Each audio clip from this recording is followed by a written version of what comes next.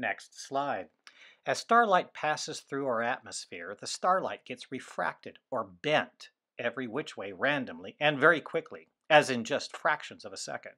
Without a telescope, we see the stars twinkle. Under high magnification, you'd see that a single star's light would be broken up into multiple images that would dance around randomly in a fraction of a second. If your exposure time for your camera was a second or longer, you'd get a large, fuzzy blob the size of the entire distribution of dancing images. Click the Mars video link and you'll see a short video of Mars taken under conditions of good seeing.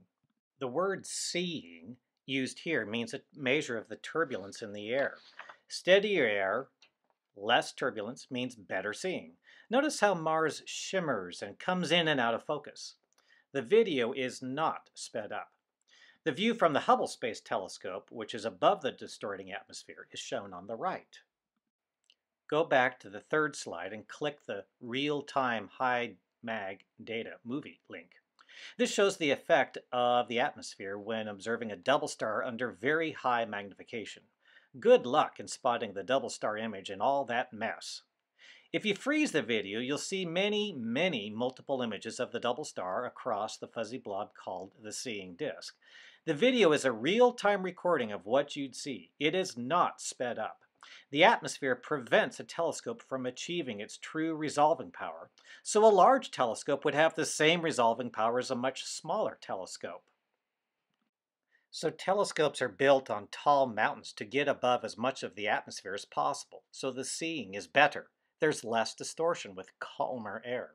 The telescopes on tall mountains are not closer to the stars because the few miles of elevation compared to sea level is totally insignificant compared to the trillions of trillions of miles to the stars.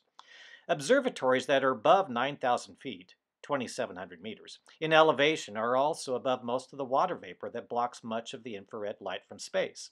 Mauna Kea in Hawaii is one of the best places for doing optical and infrared astronomy from the ground because it is at almost 14,000 feet, 4270 meters elevation, and it is sticking up in the middle of the vast Pacific Ocean, so the air is usually very calm up there.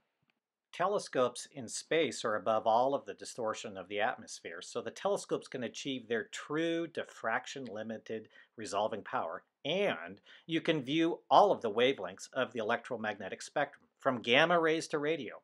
Now astronomers are using a technique called adaptive optics to compensate for the atmospheric turbulence and remove much of the seeing effects.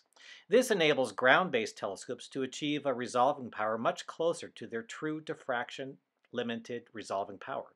Adaptive optics uses a deformable mirror that is adjusted thousands of times a second to counteract the atmosphere, and it is the only way we'd be able to justify building the extremely large telescopes of today and tomorrow. Next slide. With radio telescopes, we use computers to make an image that follows the shape and intensity of the radio emission. False colors indicate the intensity of radio emission at different locations. Here's an image of Jupiter in the radio and visible bands. In the radio, you can see Jupiter's super powerful and very deadly radiation belts. The next picture on the left is a radio galaxy with jets of charged particles glowing in the radio band that shoot out from a galaxy's core in which a supermassive black hole resides. The last set of images is a radio image tuned to the emission from cool hydrogen atoms in a galaxy. Using the Doppler effect, we can map the internal motion of the galaxy.